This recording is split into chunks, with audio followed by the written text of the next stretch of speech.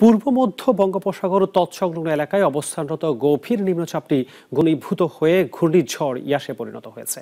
এই কারণে সমুদ্র বন্দর সমূহকে দুই নম্বর দূরবর্তী হুঁশিয়ারি সংকেত দেখিয়ে যেতে বলা হয়েছে। এদিকে ঘূর্ণিঝড় মোকাবেলায় প্রস্তুতি চলছে চট্টগ্রাম ও মোংলা সমুদ্র বন্দরে। আরও জানাচ্ছেন আবিবুল হাসান।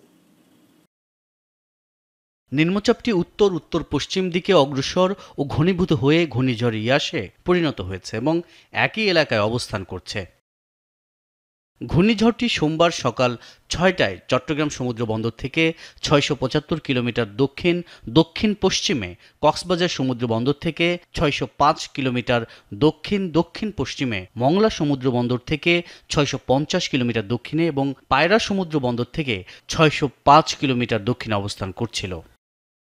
ঘূর্ণিঝড়টি আরও ঘনীভূত হয়ে উত্তর উত্তর পশ্চিম দিকে অগ্রসর হতে পারে বলে উল্লেখ করেছে আবহাওয়া অধিদপ্তর। আবহাওয়া অধিদপ্তর জানিয়েছে, ঘূর্ণিঝড় কেন্দ্রের চুয়ান্ন কিলোমিটারের মধ্যে বাতাসের একটানা সর্বোচ্চ গতিবেগ ঘন্টায় বাষট্টি কিলোমিটার, যা দমকা অথবা ঝোড়ো হওয়া আকারে আটাশি কিলোমিটার পর্যন্ত বৃদ্ধি পাচ্ছে।